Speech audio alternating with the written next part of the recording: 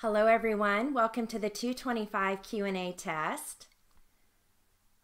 We've got defense attorney Mr. McCall and because his name has the Mick with the two C's, we're going to uh, put a space in between the two C's when you go to transcribe his name. When it's in all caps, you need a space there. Okay, so it's capital M C space, capital C A L L. Mr. McCall, capital M C space, capital C A L L. Now, if his name were, were spoken in the body of the transcript and it's upper and lower case, then you would not need um, a space between the two C's. So it's just when you identify him in all caps. All right, so this is just Q&A with the defense questioning, and this will be at 225. Ready? Did anyone else accompany you on your initial visit or your initial response? No, it was just the two of us. What time did you arrive at the salvage yard? Oh, I believe it was around 4 p.m. What happened when you arrived? What did you do first?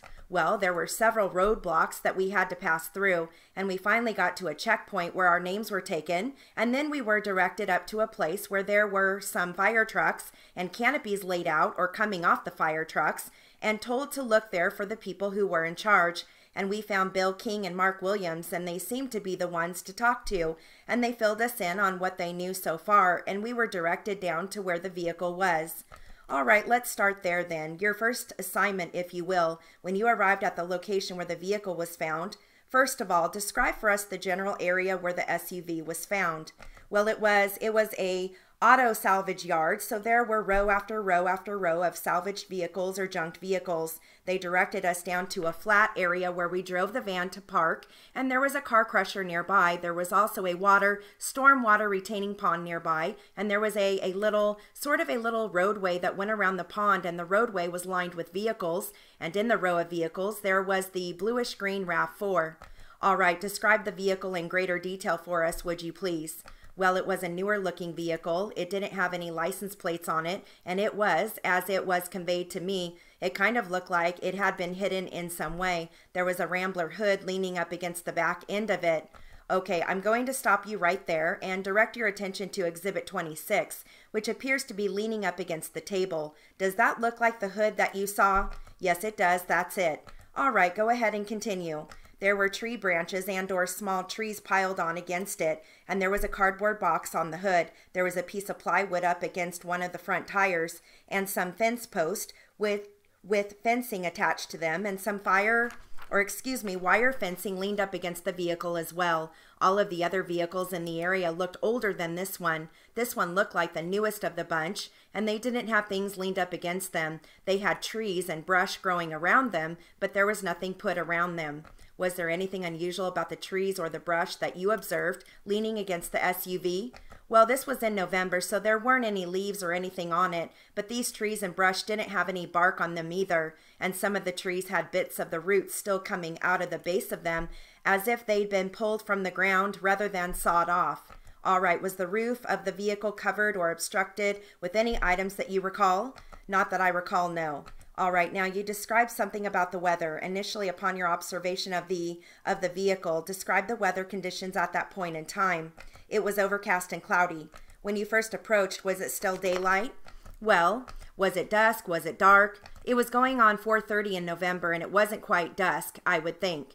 All right. Now, at some point did the weather change that evening? Yes, we didn't. We left that evening around a quarter to 10, and at some point it did pour, and there was quite a lightning storm. All right, when you arrived, was the vehicle covered in a tarp at that particular point? I never saw the vehicle covered in a tarp. Okay, approximately how long were you there before the weather changed to the extent that it began to rain? I believe within an hour of us arriving, it was sort of on and off showers. All right, what plans did you make to secure the vehicle for its ultimate transport? Well, I asked that a trailer be secured to put the vehicle in for transport back to the Madison laboratory. Now, did that occur immediately or did that involve the passage of some time before it could be arranged to transport the vehicle? It did take some time. They also needed to bring a wrecker truck into the yard to move the vehicle from its position to a place where they could load it onto the trailer. And I believe those two things, the wrecker and the trailer, arrived pretty much simultaneously, maybe an hour and a half or two hours. I am not really sure. So your best estimate as to the time that you saw the SUV was loaded onto the wrecker and moved from the scene, about what time was that? I would guess 7:30 to 8. All right, could it have been at a later time? Possibly, yes. I'm not really sure. All right, could it have been as late as 8:30 or 9 that night? Well, I checked the time when we left. I think it was a quarter to 10, so that is a possibility, yes. All right, now while you were waiting for the arrival of the equipment to secure the vehicle, moving it to Madison, did you have an opportunity to examine, as it were, the SUV more closely? Yes, I did. Can you tell us about the vehicle itself? For instance, you mentioned something about the absence of the license plates. What else did you note about the vehicle? Well, the doors were locked. We couldn't gain access to it. Then we looked through the glass with flashlights to see what we could see inside, and it looked relatively clean inside and there were some minor damage to the vehicle. I believe there was a dent located behind the Rambler hood on the right rear quarter panel, and I believe the left front signal lamp, the plastic that covers that, was cracked and broken. How were you able to determine that the doors of the vehicle were locked? We tried to get in or inside the vehicle, so we tried the doors. All right.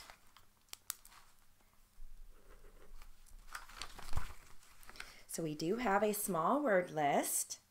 We've got Bill King, Bill, capital B I L L, King, capital K I N G, Mark Williams, capital M A R K, Williams, capital W I L L I A M S, Rambler, capital R A M B L E R. SUV is going to be all caps, capital S, capital U, capital V, no periods. Madison Laboratory. Uh, Madison, capital M A D I S O N, Laboratory, capital L A B O R A T O R Y. And that concludes our 225 Q&A test. Good luck.